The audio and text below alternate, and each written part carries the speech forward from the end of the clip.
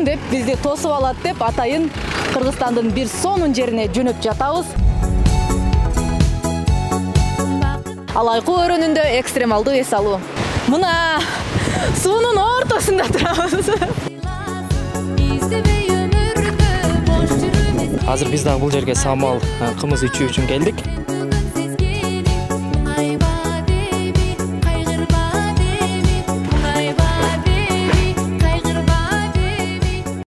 көрсөтүүнүн демөөрчүсү салих строй курулуш компаниясы.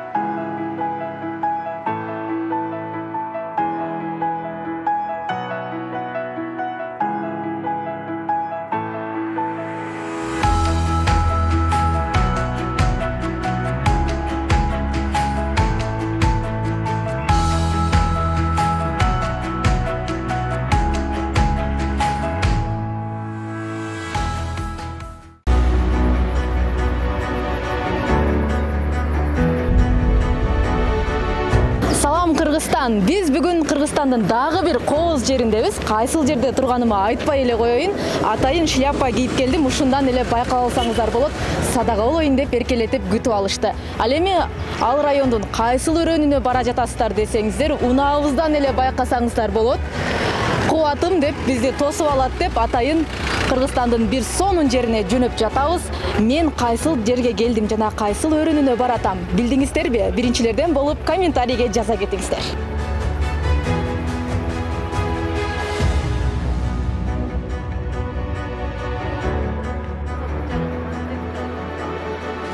салам дагы бир жолу кыргызстан биз бүгүн кара кулжа районундагы капчыгай айыл өкмөтүнө келдик капчыгай айыл өкмөтүндө кара таш айылында буюрса сонун эс алуу болот биздин кызыктуурда кызыктын баардыгы алдыда болот андыктан бизден алыстабаңыздар биз сиздерге бүгүнкү чыгарылышта кайсыл жерге эс алууну кайсыл жерде жаратылыш койнунда эс алууну көргөзөбүз андыктан бизден алыстабаңыздар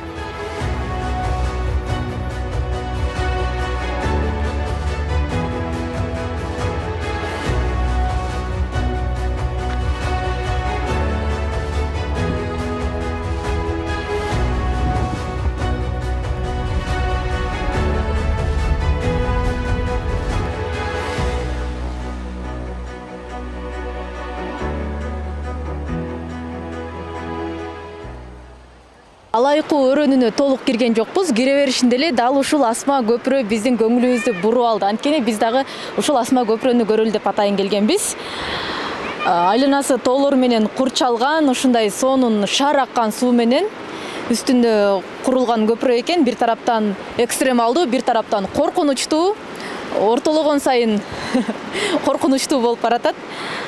Болушунча ортого чейин барып биз дагы экстремалдуу эс алууну баштап атабыз. Алайкуу өрөөнүндө экстремалдуу эс алуу.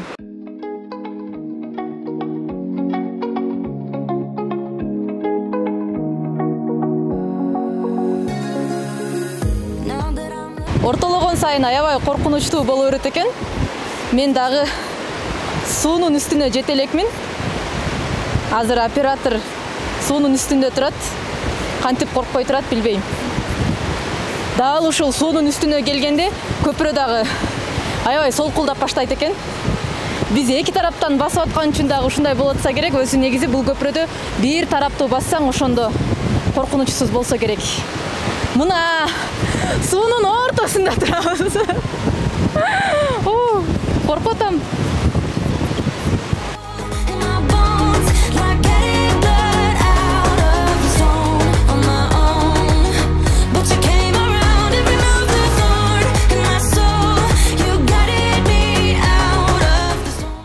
караңыздарчы көпүрөнүн солкулдаганын тез эле басып өтсүн бирок ушул кыска аралыкта сүйүнүч коркунуч адреналин болуп аябай сонун болуп өттү. Ушул алайкунун жолу татаал дейбиз го ушул татаал жолду басып өтүп келип ушул көпүрөгө чыкканга арзый тургандай көпүрө экен.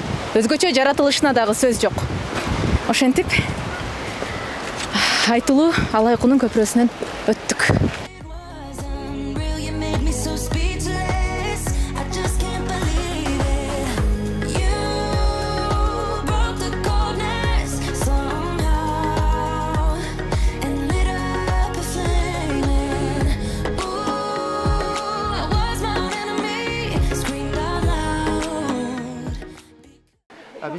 биз бүгүн районунун кара таш айылындагы аскар резарт эс алуучу жайында жүрөбүз. Бул жердеги эс алуучу эс алуучу жайдын негизги өзгөчөлүгү европалык стилде салынган. Анан азыркы учурда кыргызстандагы эс алуучу жайларда мындай эс алуучу жайлар жок эсе деп айта алабыз.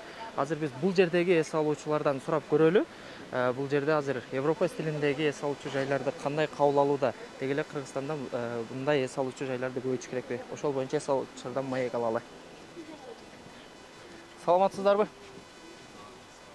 Кандай эс алып атасыздар жакшы эс алып атасыздар биз ош тв телеканалынан ушул жерде эс алуучулардан маек алып алар кандай эс алууда анан ушундай эс алуучу жайларды кандай кабыл алып атат ушул боюнча сурап маек алып жүрөбүз. Кимден сурайлы келиңиз эжеке өзүңүз баштап бериңиз анда. Эми азыр деген жыйырма биринчи кылым да. Жыйырма биринчи кылым заман өзгөрүп атат баардык нерселер өзгөрүп ошого жараша бул европа стилинде деле болуш керек. Тоо коюнунда жүргөн адамдар эс алып негизи эле жүрөбүз го. Анан ушул башкача шартта дагы эс алуу бизге деле жакшы экен. Кээ биркилердин арзуусудур ушу бишкекке барып ушундай европа стилиндеги эс алуу жайларга барып келсем шаарга барып анталияга барып же башка чет өлкөгө барып келсем деген. Эми бул өзүбүздүн тоо коюнунда болуп атса сөзсүз жакшы да. Бул европа стилиндеги эс алуучу жай бул жерде аябай жакшы экен. Эми эс алуучу катары айтып атам. Келдик көрдүк тазалыгы тейлегени жаратылыш ичинде кооздугу баардык тарабынан төп келишиптир.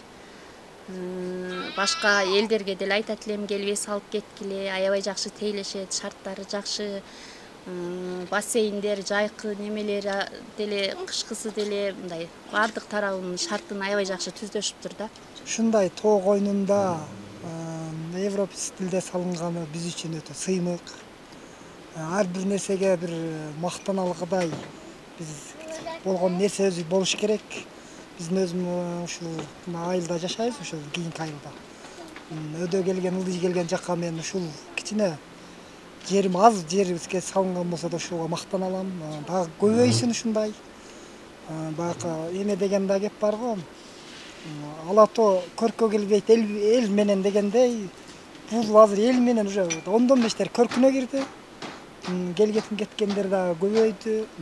Биз ар бир машина келген болсо бул ким келди деп таңыркай турган болсок азыр келип кеткен көбөйгөн болсо биз дагы отношение түзгөнгө мамиле түзгөнгө бири бирибиз менен бизди дагы ошондой жакшы жактарга чакыргандар көбөйдү кудай кааласа дагы көбөйсүн эми мындан дагы ягын караса өркүндөшсө боло турган жер экен бул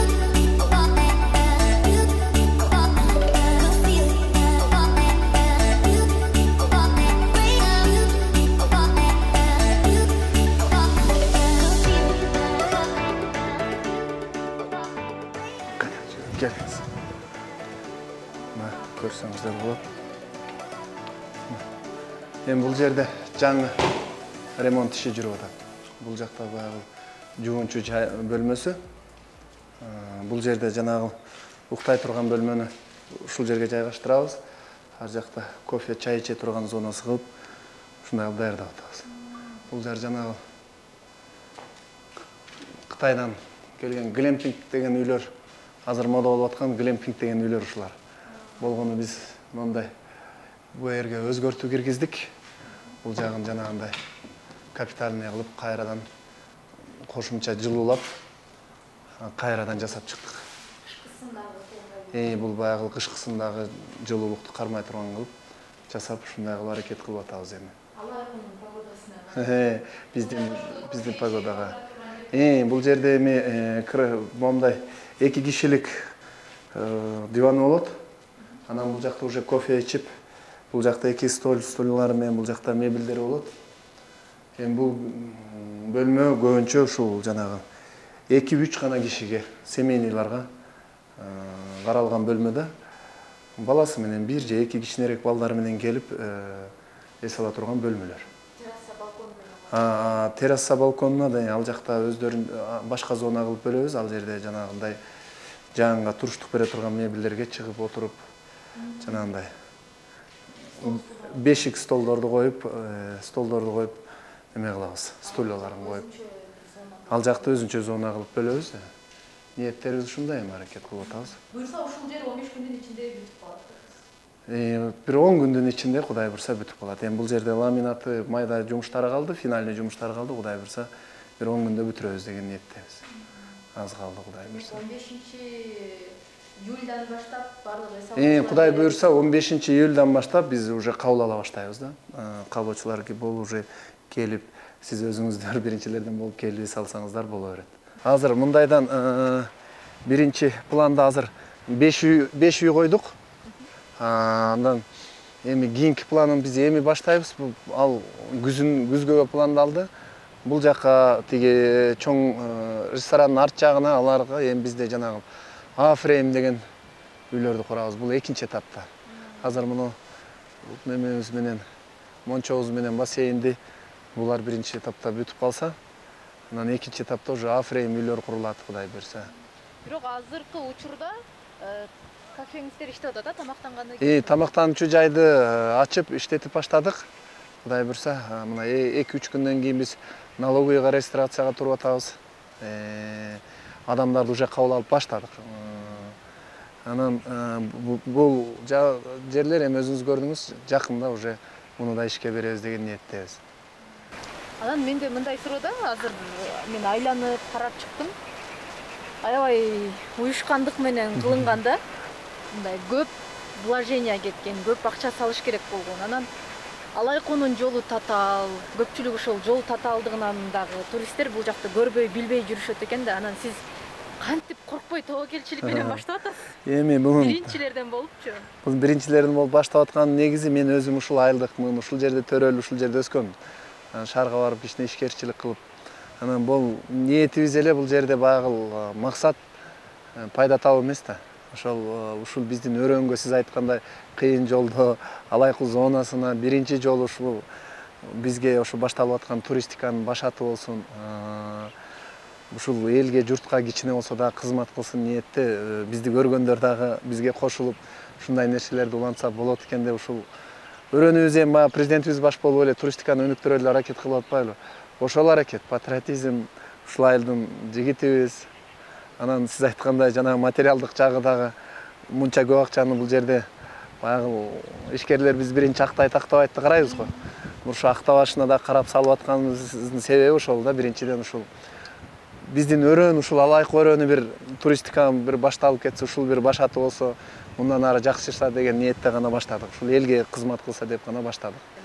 Башкы максатыбыз ошол да. Бизде эми элибизге ушул же- жерибизге алайкы зонасына ушундай бир алайкунун кооздугун ушундай абаны бир дүйнөгө алып чыгып ошентип көргөзүп турсак и ушул жерге адамдар келип өзүбүздүн чет адамдар келип эс алып турса бул жакшы нерсе болмок да азыр идея өзү каяктан пайда болду эми бул бу- бул идеяны мен өзүм э, неме ушул жанагы бул жаратылышты коргоо багытында иштейм ошондон анан бул жерге ошол жанагындай э, эгерлериме үй куруп берейин деп ойлогом.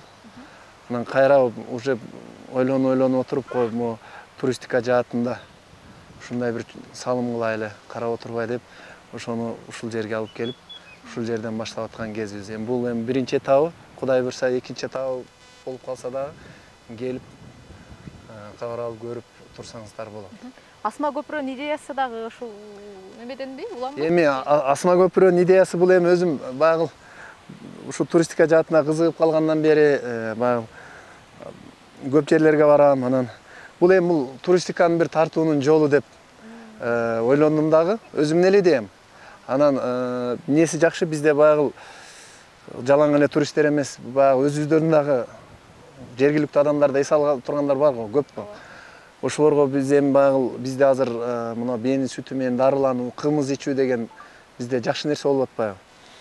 Ошого эле идеяга коштум а бул жак эми баягы могу көрүп атасыздар моундай э, жаратылыш бул жерге малды алып киргенге болбойт. Анан э, ойлондум дагы мына биздин бул биздин жайлообуз да. Мал эми дайыма ата бабабыз ошол жакта жайлап келип кымыз жасап ош ойлондум ушул жерде могул асма көпүрө кылып койсок бул жерде эс алуучулар асма көпүрө менен өтүп барып беш мал сүтүн ичип келип кымыз ичип келсе ошого ылайыктап салганбыз анан экинчиси ошо эми кызыккандар ту- туристиканын эми баягы бир жакшы нерсеси болуп калсын дедим да биздин өрөөндө анан бул бишкекте бир жолу чыгышы беш жүз сом да сиздики акысыз го эми бизде акысыз болгону бизде айтып атпаймынбы акысыз бизге ушул элге эле кызмат кылып турса болду болгону баягы бул жерде өтүүнүн коопсуздук тартибин туура сактап турса эле туугандарым болду Биз- бизде акысыз анан дагы бир нерсе курайын деп атам мен бул баягы реклама болуп калбасын бул жерге кыргызстандагы эң узун зиплайнды курайын деп аракет кылып атам азыр зип- зиплайн деген мода болуп атпайбы ошол зиплайнды курайын деп аракет кылып атам бүгүн азыр ташкенттен келишет специалисттер жаңы азыр келип калдым может сиздерди дагы көргөзөм ушул жерге пландап атабыз бир узундугу бир беш жүз беш жүз элүү метрдин аралыгындагы зиплайн кур- курабыз деген ниеттебиз ортосунан болот экен да жок бул эки тоонун ортосу болгондо аябай узак болуп калат экен эми менин оюмда могул э, мончонун аркы чекесине келип түшүп ойной турган кылсак ошондо аркы башы могул аркы бетте жалгыз дарак турбайбы? Ошондо мына дарыянын үстү менен өтүп турса деген э, планыбыз бар? Ошо дарыянын үстүнөн өтүп келип түшүп ойноп турушса деп ошону пландап атабыз. Кудай буюрса эми ошону ишке ашырып алсак. Зиплайн дагы ачылып калат зиплайн ачылат кудай буюрса иншалла. Аракет өзү кылып мен атабыз. биринчи жолу келдим анан баягы капчыгайдан кире бериштен эле көрүп айтып атпаймынбы алайкунун кире бериши ушул болгон болсо бул жагы кандай депчи? Анан таң калганым экинчи таң калганым эмнеге ушундай кооз жер ушундай сонун жер? Анан ушунча убакытка чейин биз мындай туристтик жактан колдонбой туристтик потенциалын көрбөй жүрдүк экен да. Эми э, бул нерсени айт- айтуу кыйын да көбүнчө биздики маселе мына жол маселесине э, келип такалдуу болуш керек.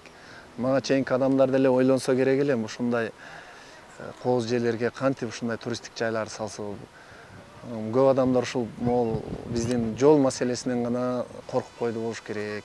Менин оюмда анан эми биздики эми кудай буюрса быйылкы жылы мына президентибиз колдоп он он километр жол кошуп берип атат. Э, жерде бизде биз биздин өзүбүздүн кулундар бар. Э, жогору жакта э, ишкер балдар бар. Э, мамлекетте иштеген балдарыбыз бар. Алар өздөрү жардам кылып быйыл дагы он километр кошуп жыйырма километр жол кошулуп атат. Кудай э, ушуга чейинки уже жол бүтүп калат деген ниеттебиз быйылкы жылкыга планга кирген жакшы экен да анда. Балким ушундай туристтик жайлар дагы көбүрөөк ачыла берсе жолдор дагы көбүрөөк оңдолуп себеби адам келген сайын. Эми бул э, биздин деле ниетибиз ошол да Э, бул туристтик жай канчалык көп болсо э, бул айылыбызга элибизге ошол эле келип эс алган адамдардын өзүнө жакшы болмок да себеби мына караңыз моундай жеңил аба моундай э, жаратылыш көп жерлерден тапканга мындай мүмкүн эмес да тапса болсо керек бирок могул жер өтө жеңил сиздер эми байкасаңыздар болот бул жер адамга аябай жагымдуу абасы менен белгилүү да. Бул жерде келгенде билинет сырттан келгенде аябай билинет ошону аябай мындай кандай десем эми суусу дагы бар тоосу дагы бар деңиз деңгээлинен мындай туура жерде турса керек деп ойлойм эми бул балыктарды могул азыр айылдан өтсөңөр керек. Бул ылдыйк айылда бизде кара таш деген айыл бар. Ошол жерде балык өстүрүп баштадык анан биздин пландагы нерсе ошол жерде өстүрүп бул жерге алып келип эми бул туристтерге сатуу да максат бул жердин суусу жакшы мына өзүңөр көргөндөй тунук таза болгону менен аябай могул чоң тоодон түшүп мөңгүнүн суусу болгондуктан бул муздак буда балык өспөйт жашайт бирок өспөйт да биз бул жерде эми форель балыгы да өспөйт ошон үчүн биз аркылы айылда өзүмдүн айылымда жанагы э, мындай форель балыгы өсө турган сууларды чогултуп ошол жерге форельный хозяйство ачып койгонбуз ошондон алып келип бул жерге салып атабыз бирок күнүгө алып келип турасыздар демек балык үчүн дагы келсек болот экен бул э жака бул жерге келип э, башында бул бизде алайкуда э, балык өстүргөн адамдар бар ошолордон алып келип салып аттык ал дагы аябай баалуу э, жакшы балык эми эң даамдуу балыктар деп айтса болот да себеби бул азыр э, айтайын жеп дегустация кылып көрүңүздөр эң даамдуу балыктар ушул жердики го деп ойлойм себеби таза сууда э, жакшы жем менен багылган балыктар көп э, бишкекке чейин алып кетип аткан балыктар ушул жактан барат. Эң жакшы дегендери. Алайкунун балыгы дең алайкунун балыгы бул э, мен жеп көрдүм. Азыр жеп көрдүк чынында аябай сонун экен жеп көрдүңүзбү? Э, ушул алайкунун балыгы ушул. Балыкты өзү жакшы жей алчу эмесмин даамы сонун болгон экен жеп койдук. Дагы планыбызда бар эми бу- бул ылдыйкы айылда ошол жанагы балык фермабызды да чоңойтуп ушул жердеги э, жергиликтүү калкка үйрөтөбүз канткенде э, көбөйтсө болот кандай шартта кармаса болот э, кандай чоңойтсо болот ошолорду кудай буюрса мына уже үйрөтүп баштадык. Бизден кийин дагы ошо бир эки бала баштады кудай буюрса эми ошол жолдо жолго коюп алсак жакшы ошол. Ушул шаркыратма мисалы үчүн биякта газондор э, бул жакта глемпинг болсо бул жакта кафеси кафенде летный террасасы кылып асма көпүрөнүн көрүнүшүндө отура турган мындай баардыгы мен жана айткандай уюшкандыкта да анан ошону өзүңүз чийип чыктыңызбы же кандай болду эми бул нерсе баягы жалгыз эле өзүмдүн эле идеям. Баягы карап отуруп эле кай жерге эмнени кылса болот. Кыйын эмес. Эми ал өзүңүздөр көргөндөй ушу жердин шартына карап жасадым бул нерсеничи бул жалгыз эле өзүмдүн идеям. Кемпирим кошулат кызым кошулат өзүмдүн эле идеям. Атайын бир дизайнер мастер албадыңыз? Жок андай албадым. Э, себеби эми билбедим баягы өзүм акылымдагы нерсени гана салып атабыз сиздерге жагат эми сиздер баалайсыздар А, бул жерде айта кетчү нерсе дагы бир нерсе мен э, бул кыргызстанда кай жерде бар пока билбейм бирок үңкүр үйлөрдү жердин алдындагы үйлөрдү э, жасап көрөйүн деп атам например мына ушул жерге мынау кыр ушул кырга үстүнө афреймдерди курам дагы могу алдынан жердин алдына жанагындай үйлөрдү курайын колуман келсе эми кудай буюрса иншалла үңкүр үй кылып туруп ичин беш жылдыздуу кылып жасаганга аракет кылайын экинчи экинчи этап деп атпайм ошо экинчи этапка ошону кудай буюрса бүтүрүп алсам жакшы болот эле Мындан чуркап чыгып эле бассейнге түшө калган да баягы жаратылыштын койнундагы бассейнгечи анан мен азыр аябай таң калып атам да ошол нерсе алайкууга жетип калдыбы депчи эми бул жакшы ошону ошол нерсени ошо биздин элге журтка ушундай кылып берели деп аракеттебиз. Кудай буюрса э, ошого ошондой кылып ошого жеткиребиз деген үмүттөмүн кудай буюрса бүткөндө дагы бир келип көрсөңүздөр болот. Ар- аркы жагы э, шаркыратмасы э, алты жети метр ылдый түшүп турат шаркыратмасы. Свет жарыктар баягы ар түрдүү жарыктар бүтүп турат. Анан бул эмеси сууну атайын э, ысытпай жанагындай кылбай булактын суусун алып келдик себеби кышында жылуураак болсун деп жайында муздагыраак болсун деп ошон үчүн атайын буга өзүнчө булактын суусун алып келдим да.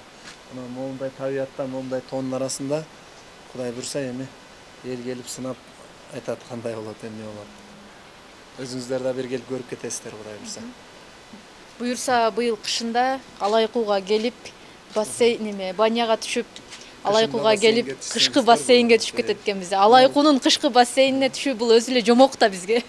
Кудай буюрса иншалла. Биякта ошо пар комнатасы бул жерде чечинип жанагындай анан бул комнатаны болсо жанагындай э, эс алып отура турганга кылып атабыз Э, жанагындай суусундук ичип отура турганга кылып атабыз эми бунун мебелдерин уже аз калды.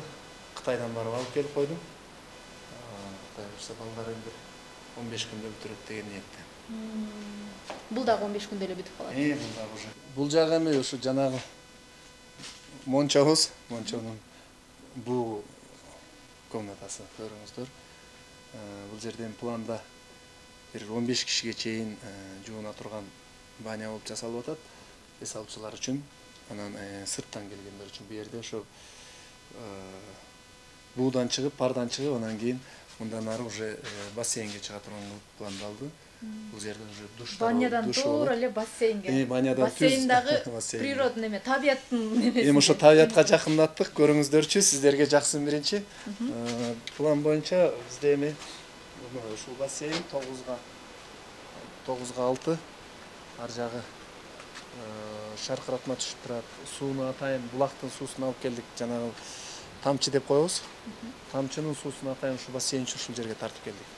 Анын ошондо быйыл кышында биз алайкууга келип баняга түшүп анан бассейнге түшө алабызбы Э, ооба бул эми мына өзүңүздөр көрдүңүздөр бүтүп аз мындай бүтүп аткан кези аз аз жасалгы иштери калды. Кудай буюрса бир айдан кийин келип э, бассейнге түшүп баняга түшүп турсаңыздар боло берет.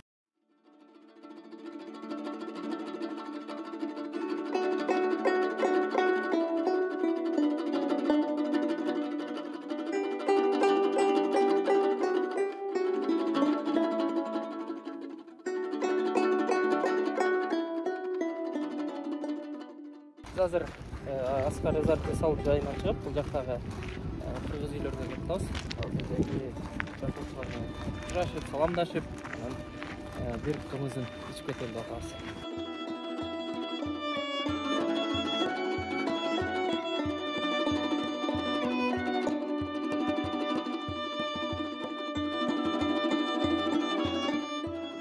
бул жактагы кыргыз үйлөрдөгү жашаган биздин жашоочулар анан самал э, бээ саап өздөрү кымыз жасашат ошолордон келип сурайлы. Бул жерде аскар резорттун ачылыш максаты дагы ошол болгон.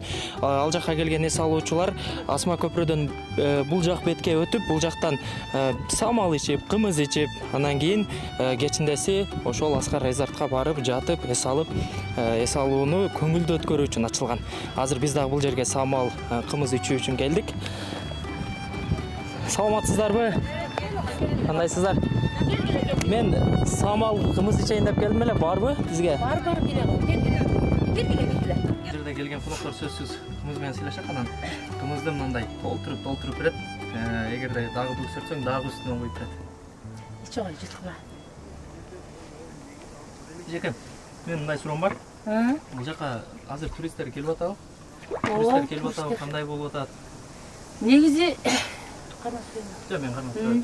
негизи бул жерге быйыл туристтер быйыл көбөйдү да. Мына өздөгү жанагыбызга ошо туристтик база курулгандан бери аябай көбөйдү негизи кыргызстан боюнча келип атат десем жаңылышпайм да. Айрыкча мына асма көпүрө биздин жаратылыштын кооздугуна суктанып келгендер аябай ыраазы ыраазы болуп келгендердин саны аруу атат аябай көп. Биз жылда мындай эме кылган эмеспиз негизи бул жайлоо биздики алтымыш жетимиш жылдан бери ошо кайната кайненелерибиз чыгып жүргөн жайлоо биз жылда мындай неме кылган эмеспиз мындай бизнес кылганды деле билбептирбиз быйыл келип ушунчалык көп келип атышат сурангандар аябай көп болуп атат. Кошумча боз үйлөр жатаканаларды сурап атышат кымыздарды самал э, каймак свежий каймак э, даже сүзмө курут кыскасы ушундай кыргыздын э, улуттук ушу биздин даамдарыбызды ушу неме кылып аябай эңсеп келгендер көп болуп атат. Анан самал барбы самал самалды өзүнчө ичем деп дагы келгендер болуп атабы андайлар аябай көп. Самалга кызыккандар аябай көп болуп атат. Анан мына жатакананы негизи көбөйтүш керек экен биз быйыл билип калдык ошо кийинки жылдан кошумча үйлөрдү тигип койсок ушу кошумча жатакана болсо самал ичсек деп э, ошо эме кылгандар аябай көп болуп атат эми азыр бул жака келген сиздерде жатакана жок деп атпайсыздарбы А бул жака келген эс алуучуларды самал кымыз менен кандай шарттарда берип атасыздар самал ичип кетип атышабы алар келип ичип эле кайтып атышабы кандай болуп атат ооба ичип кайтып атышат бирок көпкө жүрүп он күндөн жүрүп ичет элек дегендер көп болуп атышат анан эми ушу шарттарды көбөйтүп эмдиги жылдан ошо кошумча үйлөрдү тигип эме кылсак ушу аябай көп болгудай да. Анан биздин кымыздын тазалыгына аябай таза кымыздар экен деп ушу аябай эме кетип атышат.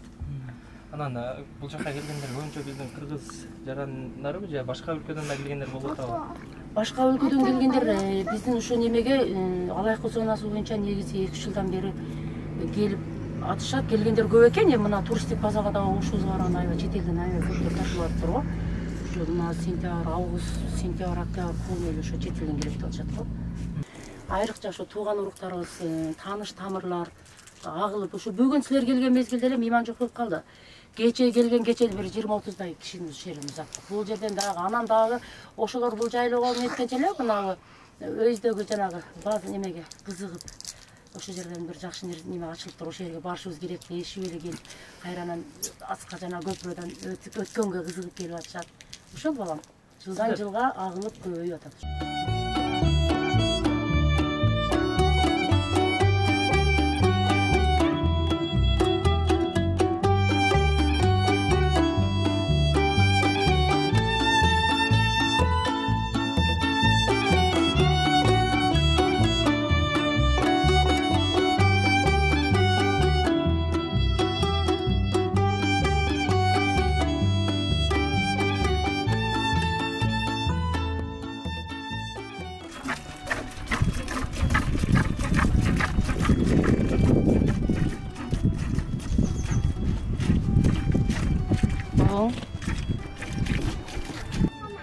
мына бен садык эми чаначка куябыз балдарым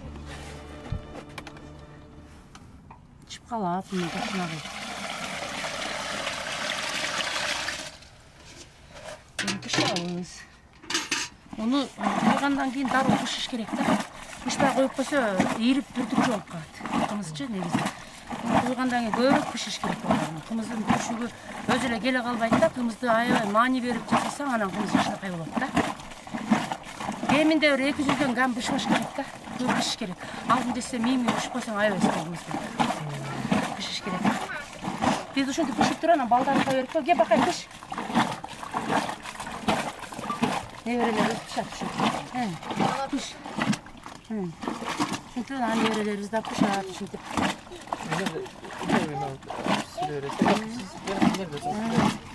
анан жанагы кымыз ачуу болгондо жакшы болобу же бетинде ширинирээк болсо деле эми ачуу болгондон ширин болгону деле өзүнүн эмеси бар балам ачуу болсо ачуу болуп калат эгерде мына мен саап келдим азыр саап келип эле ысык күн ысык болуп турганда ысык бойдон кое берсең кымыз ачуу болуп калат анан күн ысыкта саап келип бир аз табан кайтарып куйсаң анан ширин жакшынакай кымыз болот анан күн ысыкта мынантип жакшы оробойбуз андай болуп турат анан күн суукта мындай постниктер менен жылы орош керек. Оробосоң кымыз неме үшүп калат бузуп айнып калат да.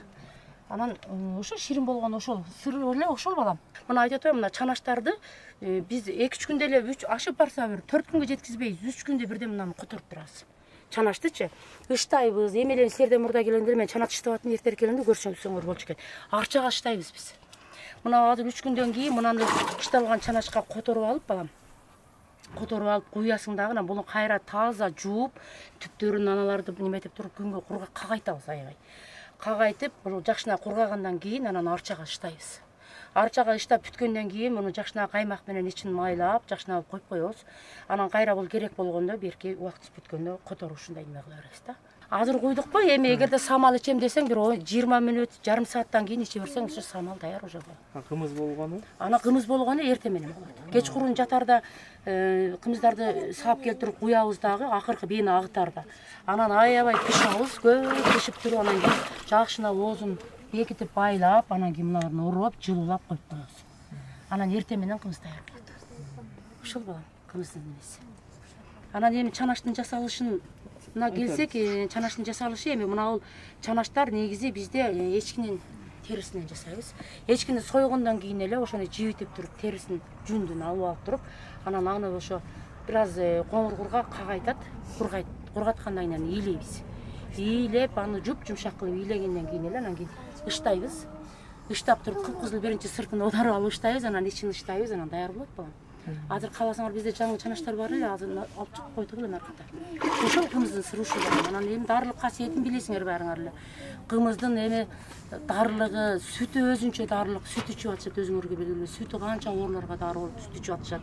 Самал андан дагы ачыган кымыз дагы өзүнчө ар бир кымыздын эмесинин дарылык касиети аябай иммунитетти көтөрүп атат. Канча оорулар ушул кымыздан жакшы сакайып атышат. Сүт ичип жаш балдар мына кичинекей балдардыга ушу кичинекейине жанагындай кытайдын бир жанагы самопал немелеринен көрө ушул бир каса бир пияла бир чыны кымыз сүт ичип алса канча ден соолук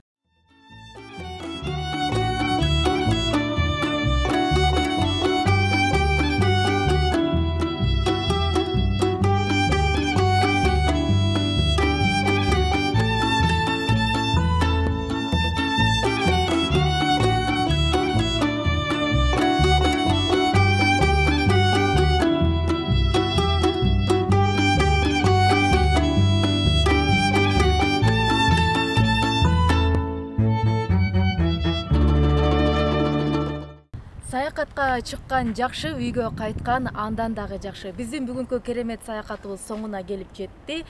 Дагы бир нерсени айта кетели. Эң бул жер алайкуу алайкуу дегенибиз менен ош шаарынан өтө деле алыс эмес экен. Төрт саатта келип жеттик жолу деле өтө татаал эмес экен. Анткени алайкуунун кире бериши гана экен. Ошондуктан келиңиздер эс алыңыздар.